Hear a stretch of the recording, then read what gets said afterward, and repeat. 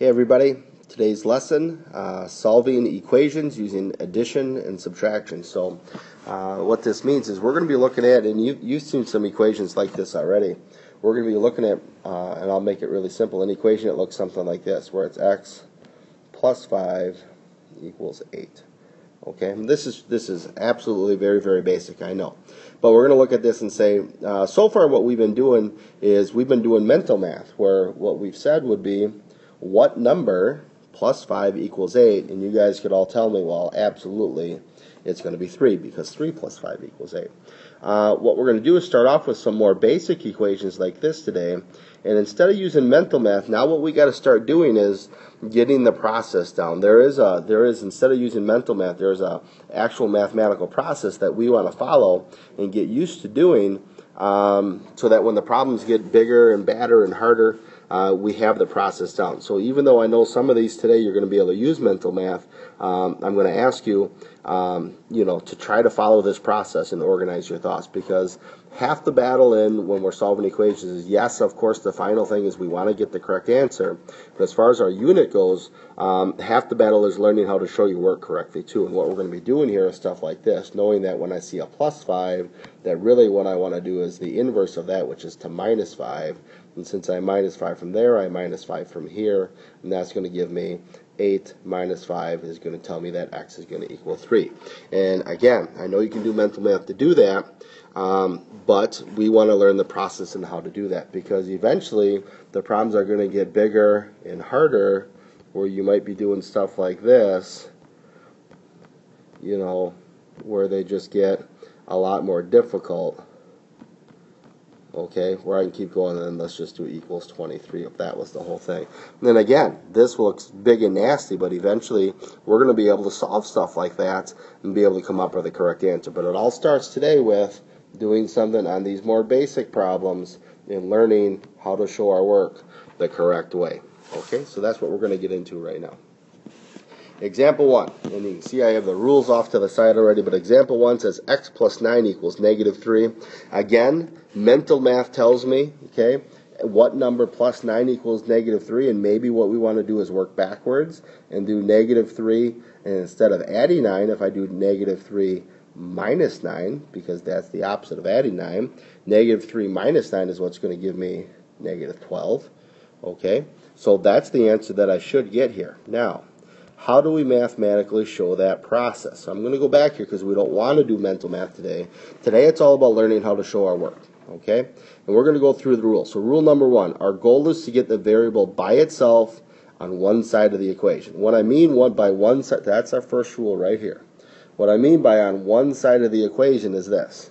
If I see the equal sign, to me, that separates my equation into two parts. Like if I draw drew a dotted line right down there, I have the x plus 9 on one side of the equation. I have the negative 3 on the other side of the equation. What I want to do is look at the side of the equation with the variable, the x plus 9. In rule number one here, our goal is to get the variable by itself on one side of the equation means I don't want it to be x plus 9. I just want it to be x. x is going to be selfish here. It just wants to be x. Because eventually my answer is going to be x equals something where the x is all alone. That's my goal. So that tells me in this problem right here that I have to get rid of the plus 9. I want that plus 9 just to go away. Okay? Um, how do we do that? Okay? Rule number two.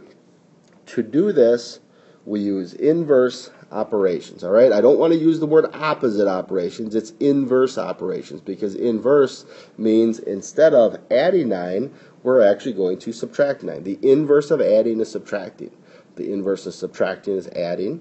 The inverse of multiplying is dividing. The inverse of dividing is going to be multiplying. So when I see x plus 9 equals negative 3, what I want to do is I realize, okay, the plus 9 is what I want to get rid of. So what's the inverse of adding 9? I'm going to subtract 9. And the reason I do that, if I kind of cover up everything else here, let's pretend the x wasn't there, Let's pretend there was nothing else there. When I look at this and I see a plus 9 and a minus 9, if I were to combine those two things, because they're opposites, a positive 9 and a negative 9 is what adds to give me 0, which really tells me that those things just go away. Okay, and that's our goal. I'm going to back up here That's our goal is to get rid of that plus 9. So how do I get rid of a plus 9? I'm going to subtract 9. Okay, because I'm going to put a line here. That's like my equal sign. And what happens is a plus 9 and a minus 9 cancel each other out because it ends up equaling 0. That x can kind of just come down here. So it's like x plus 0. Here's my equal sign. Okay, but now here's our last rule, which says whatever you do to one side of the equation, you must do to the other. Okay? So because I subtracted 9 right here, I have to subtract 9 here as well. Okay? Because I subtracted 9 on the left side of the equation, then on the right side of the equation, I also have to subtract 9. Now, a lot of people get hung up on right here. I have a negative 3 and a negative 9. And they go, well, am I supposed to add those or subtract those? Guys, it's all about our integer rules. You have to ask yourself, who cares about a plus or a minus? You care about what are the signs of these numbers. I have a negative 3 and a negative 9. Our integer rules say if the signs are the same, we're supposed to add them. That's what tells me if I add or subtract. If the signs are the same, we add. If the signs are different, I subtract. In this case, okay, again, right here, these signs are the same. Negative 3, negative 9. My rules say to add. Negative 3 and a negative 9, when I add them together, give me a negative 12 which then gives me my final answer because I really don't have to write the plus 0 at all. It really gives me a final answer of x equals negative 12, which is what we first wrote down a long time ago when we did our mental math. Okay? Now, you can go ahead and check your answer if you want because when you get an answer, you should always know if you got the correct answer. or not. let's take this negative 12 here for a second, and let's just plug it back into the beginning for x here because that tells me that the problem should have been this. If I plug negative 12 in for x, and that was supposed to be added to 9, and that's supposed to equal negative 3, and you just want to check to see if it works. Negative 12 plus 9, okay, signs are different, I subtract, 12 minus 9 is 3, keep the negative sign, absolutely, that checks out. I know that I got a correct answer, okay? I'm going to do one more here for you guys. I'm going to do example 2 so you can watch it one more time, then I'll turn you loose on example 3 and 4. Uh, okay, so here's our equation. 23 equals y minus 11. Uh, I like, at least when I first learn how to do this, start doing it, I like to put my dotted line in there to show my two sides of the equation. Okay? Now, what I see here is that the y is not by itself. I want it to be by itself, but it's not there yet. Right now, it's got that minus 11 with it. Okay, so my first goal is to get rid of the minus 11.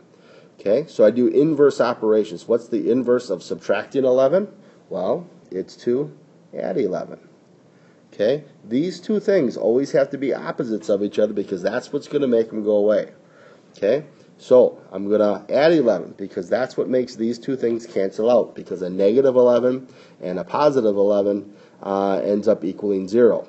Okay?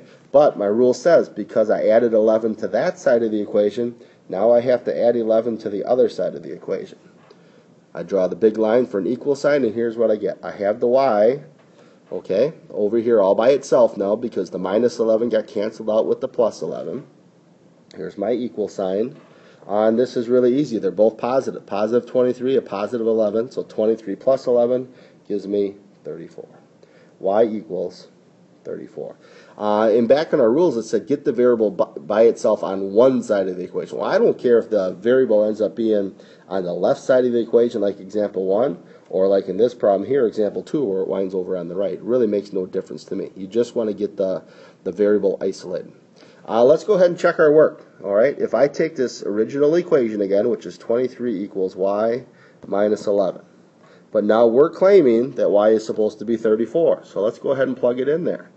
Okay, 34 goes in place of y minus 11. What I want to do is actually do 34 minus 11. So 34 minus 11. 4 minus 1 is 3. 3 minus 1 is 2. And sure enough, these two things end up being equal to each other. So by checking our work, I know absolutely my answer is correct. So when I take a test, if I were to check my work, I don't even have to wait for um, you know for the teacher to to grade the work because I know already I got the right answer. Okay, here's two for you guys. All right, example three, example four. Uh, go ahead, pause the video, try them on your own. Okay, should be back from pausing the video. I hope you have answers. Hopefully you checked your work to see if they worked out. Now just to confirm it, I'm going to go through it quick. Uh, example 3. So here's my dotted line. I see the x plus negative 8, which means I have to get rid of that negative 8. Okay? Now, I know that this is a plus. That's fine. But what I'm concerned with is that sign that's with the number. Because that's a negative 8, that's what I want to get rid of is the negative 8. How do I get rid of a negative 8? I have to add 8.